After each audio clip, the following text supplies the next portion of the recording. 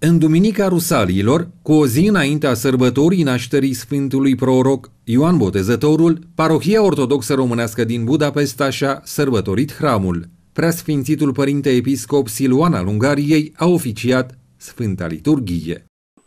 M-am bucurat că locașul de cult în care funcționează această parohie, dar și așezământul monahal românesc și centrul pastoral, misionar și cultural Sfântul Vasile cel Mare s-au umplut din nou de credincioși de diferite vârste, între care s-au numărat domnul ambasador Alexandru Victor Micula și doamna Gabriela Matei, directorul Institutului Cultural Român din Budapesta. La final a fost inaugurată o expoziție cu fotografii din viața așezământului românesc din Budapesta.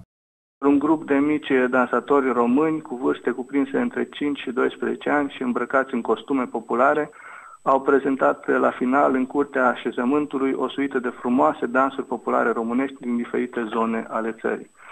La Budapesta există o frumoasă colaborare între parohie, așezământul monahal, centrul pastoral, misionar și cultural, Asociația Femeilor Ortodoxe și autoguvernarea minoritară românească din sectorul 11, care s-a concretizat prin multe evenimente ce au avut loc în ultimul timp.